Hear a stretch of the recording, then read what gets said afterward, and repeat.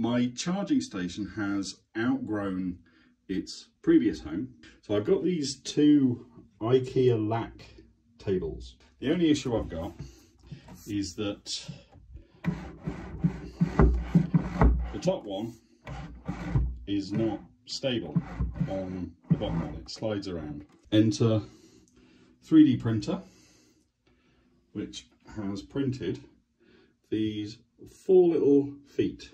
Okay, and there we are. We have leg hooked over the side and the back, and the top table leg slips into it.